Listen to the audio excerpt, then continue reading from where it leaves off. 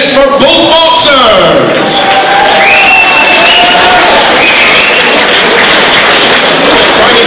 After four rounds, the referee scores the contest 40-36 in favor of the winner, Ryan Gall.